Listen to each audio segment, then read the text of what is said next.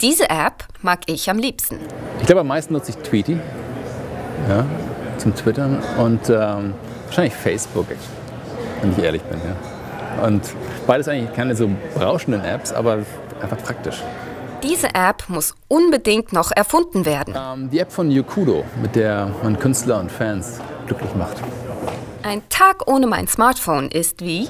Ist wie Suppe ohne Salz, glaube ich. Ja.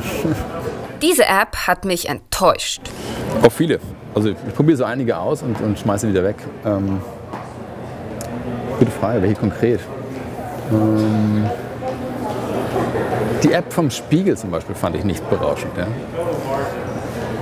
Lieber, lieber direkt auf dem mobilen Portal oder sogar das mobile Portal enttäuscht ein Stück weit. Ich nutze meistens einfach das richtige Spiegelportal. Diese App hat mich schon mal gerettet. Mich hat schon äh, Tweety oder andere Twitter-Apps ein paar Mal gerettet, dass ich irgendwo war und ich brauchte Hilfe. Und dann gab es in der Tat jemanden, der mir sagen konnte, die Antwort auf die Frage. Das war schon irgendwie, also wenn ich jetzt heute einen Unfall hätte und ich wäre allein auf der Straße und würde da liegen, dann würde ich, glaube ich, keine SMS schicken. Ich würde das twittern, ne? ich würde das rausschreiben. Das, äh, die Wahrscheinlichkeit, dass ich gerettet wäre, wäre am höchsten. So viel Geld gebe ich im Monat für Apps aus. Kaum was. Also ich habe bisher, glaube ich, irgendwie, also ich habe weniger als zehn Apps gekauft bisher. Die meisten Apps, die ich nutze, sind, sind kostenlos. Und diese Apps nehme ich gerne mit ins Bett.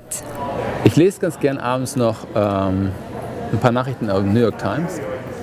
Die App mag ich übrigens auch sehr. Ähm, Huffington Post, dann gucke ich, guck ich manchmal noch rein in, ähm, in Comics. Das ist eine schöne Comics-App. Also politische Satire. Schaue ich gerne noch rein. Und äh, ja, Facebook und Twitter irgendwas tun, was so passiert. Also eigentlich eine ganze Reihe von Apps, die ich noch mit ins Bett nehme.